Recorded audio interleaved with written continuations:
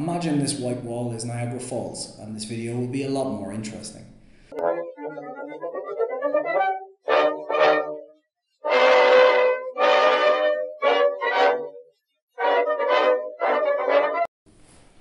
Hello and welcome to a more white and blank version of the Car Nerd, where I'm going to talk to you in this place because it's secure from the coronavirus. I hope you're all keeping well and staying safe because it's very important right now. And like me, I've come to this bunker with windows to make sure that I can stay safe during this. However, the real reason is I'm too lazy to set up outside and I'm working in my office and it's easier to just make the video here. Imagine this white wall is Niagara Falls, and this video will be a lot more interesting. Today we're going to talk about the Renault Dauphine, which was produced from 1956 to 1966 under some very precarious uh, situation um, things. Basically, it was built in secret and tested in the dead of night so that the French government wouldn't find out. And we're going to jump back into, into that in a moment. But don't forget to like and subscribe first because I need you to like and subscribe for me to continue making these, or otherwise, I'm going to be very sad. So the history of Renault in general was quite interesting. Um, Louis Renault, the, the founder, had founded the company in the early 1900s, um, and he had made one of the first production motor cars um, in France and become quite popular. And during World War One, they started making trucks and, and airplane engines and things like that. And then they rebounded afterwards. And in the run up to World War Two, they came out with the 2CV and became incredibly popular. They were one of the biggest brands in, if not the biggest brand in France. But then during World War II, obviously the Germans occupied uh, France. And unfortunately, they wanted to force Renault to make trucks.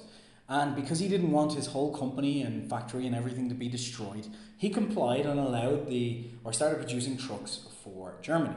However, in an effort to slow this down, he would cause production delays, strikes, things like that, to make it look like there was accidental breakdowns and problems in their production line and slow down the Germans. Of course, the Allies weren't interested in hearing about this and they ended up bombing the factory. And they completely destroyed the factory along with killing 600 civilians. So, Allies not so bad. That Hitler got. No, let's not get into that. So, essentially, after as the war came to an end in 1944, uh, Louis Renault was uh, arrested and unfortunately uh, imprisoned, where he died of some suspicious circumstances. So. The, the Renault history is quite interesting when it comes to a lot of these weird things that happened during these war times. But Louis Renault unfortunately passed away in prison um, after being arrested in 1944. Now, a guy called Pierre Lefaucheux took over the reins of Renault after the war. And he wanted to continue on automobiles because this was the legacy of Louis Renault. And he knew that Louis Renault had tried to, you know, uh, help in a way and keep his people safe and keep the factory running. Um, and he wanted to keep that going. Unfortunately, the French uh, Ministry for Industry and Production wanted Renault to continue building the trucks that they were building during World War II because they thought this was a better way to help rebuild the country. But Pierre was against this, and he knew that during the war and in 1943 and 44, the engineers at Renault under Louis Renault had started building a prototype of what would become the 4CV. And sl- slightly after the war, they brought in Porsche, Ferdinand Porsche of all people, to help to finish the design of this car, and it was released in 1947. And the French government, needless to say, were a little bit annoyed about this for various reasons. One, they wanted the production of trucks to continue their way. Two, they were a little bit annoyed at Louis Renault. And three, it didn't really help the fact that they got in the famous designer behind the Volkswagen Beetle um, to help them finish off what would become one of the most famous French cars. So the French government were quite annoyed about this whole thing, and Pierre did it out of a, a, a, thing for Louis Renault because he didn't really care about cars himself. He just knew that this was the DNA of the company. In fact, Pierre would come to work most days on a bicycle. So when it was time to start looking at what would come after the 4CV, he knew that they needed to start building something like this. And, and pressure was still going from the government, but he was aware that soon enough, because of rising standard of living in France and people were coming a little bit better off and the wartime had massively ended, he knew that people would be starting to look for a, an upscale car. And as such, he wanted to be the one to build this car. So basically, uh, Lefaucheux went to one of the lead engineers on the 4CV project who was working on it in secret during the war, Fernand Picard.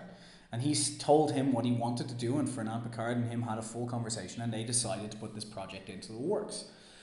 So the problem with this was basically that the French government again did not want this to happen. So Fernand Picard put together a team inside the Renault factory and they started what was called Project 109 in 1949 that would go on for the next five years. And they started developing Project 109, which would become the Renault Dauphine in time, in secrecy. And they were building on this and building on this, and basically in the middle of the night, they would go out and test it in various places. And they bought a couple of Volkswagen Beetles to test the quality against, and they kept doing this over the years to make sure that they were keeping up with German engineering qualities. So Fernand Picard had this team together, and they continued working on what would be known as Project 109 internally, and him and Lefaucheux would meet in the middle of the night to stop anyone from knowing what was going on, especially the French government, who were again pushing for the truck. So Fachot gave Lefaucheux gave Picard some strict instructions other than just the secrecy. He also told him that this car needed to be able to reach a top speed of 68 miles an hour. It needed to do less than 40 miles or more than 40 miles to the gallon, achieving more than 7 kilometers per or 7 liters per 100 kilometers. And also he wanted it to have some strong color choices. The reason for this is there was a study that women cared more about the color of the car than they did about what the actual car was and this would help with sales. So those were the strict instructions that began out on Project 109. So during this five years of testing in the middle of the night, Lefaucheux would meet up with Picard and they would keep on working on things. And originally, this Project 109 had a rear engine design, and it did when it was finished, but the rear engine design included a 4CV engine. And CV stand for Cheval de Vol, which is uh, horsepower, but it didn't have 4 horsepower. I still can't quite get my head around that. It had 19 horsepower. It was a 748cc engine. And Picard brought to Lefaucheux's attention that this wasn't quite powerful enough for what they wanted to achieve. So they swapped this out with a new engine they had been working on, the 848cc engine, which became known as the 5CV engine. And this allowed them to get 32 horsepower and cruise along at 70 miles an hour, no problem. It would also be highly efficient compared to the old one and allowed for some of the things that they wanted to include in the engine, or in the car design, should I say, to be, uh, to be looked after. So then the project became known as the 5CV, and it would stick with that name until the year of release. Lefaucheux would keep track of this project every night, coming in and talking to Picard and helping them with the testing, which they were doing on test tracks, um, alongside a Volkswagen Beetle to make sure it was more efficient. Unfortunately, uh, and ironically in some ways, because he was not an automobile guy and he was more of a cyclist, Lefaucheux never got to see this car come to fruition. On the 11th of February in 1955, he was killed in an unfortunate car accident while driving his Renault Frégate on some icy roads and never got to see the end of this project. But Picard continued on because he knew how important this project was. And in the meantime, another guy called Pierre Dreyfus had taken over the company, and it was time for Picard to show Dreyfus this car. But before that, they shipped a few of the prototypes to different locations and drove them around in towns and kept again in secrecy, just testing these against Beetles and, and other cars that they wanted it to be more effective than. In 1955, November of 1955 to be exact, they unveiled this car to the press because Dreyfus, who had taken over, gave this car his blessing and was willing to fight the French government on launching it. So when they released this car to the press, it was released as the Renault 5CV. Now, interestingly, it was going to be called the Renault Corvette, but the Chevrolet Corporation, as you're probably aware, has a Corvette, and they only released this in the year of 1955 and had registered the name. So, unfortunately, they couldn't go with that name anymore, and it was called the 5CV. However, in one of the press dinners around this, they were talking to one of the press team and some engineers and different people, and one of the guys who was covering closely the 4CV noted that he was calling, and he had heard a lot of people call the 4CV the Queen of the Road. And that's when he said, uh, that's when the name came about, the Dauphine. Dauphine is the feminine version of the word dolphin, which means heir to the apparent throne, and therefore made it fitting to take over from the 4CV, which was known as the Queen of the Road. In case you're not aware, the Dauphine went on to be incredibly successful. The uh, 4CV had sold 500,000 units. This went on to sell 2 million between 1956 and 1966, although it did cross over with the 4CV, which continued selling for a couple of years afterwards. This car, of course, being a French car, and if you've owned a French car, you're probably aware that electrical faults are quite a big issue, and the Dauphine was, was no exception. The Dauphine had a few issues. For example, um, it was one of the cars which when you turn the wipers on and had the lights running and the heating running, if you were driving at night in the rain, it would drain very quickly and the battery couldn't quite keep up.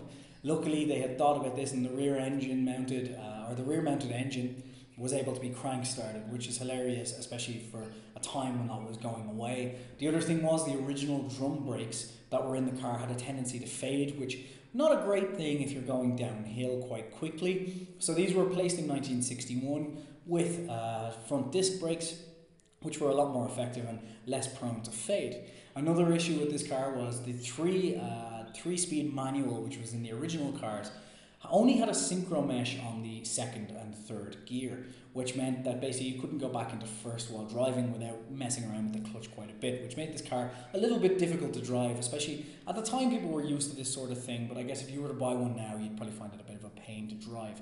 So in 1961, they put a synchro mesh on the first gear as well and closed that off, and shortly thereafter introduced the four speed, which was a lot better.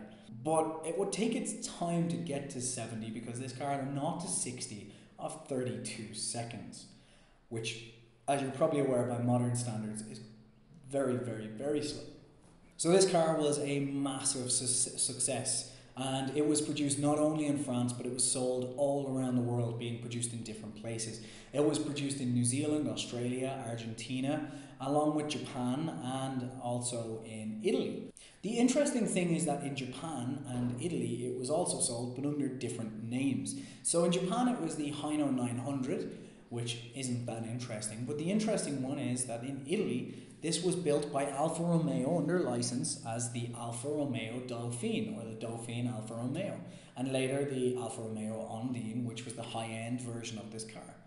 So here you have it a car that was built in secrecy uh, to live up to the legend of a man, of a man who was suspiciously dead in a prison after trying to keep his company going during World War II, that went on to sell 2 million units and mapped out Renault as the massive company it is today, taking over from the 4CV.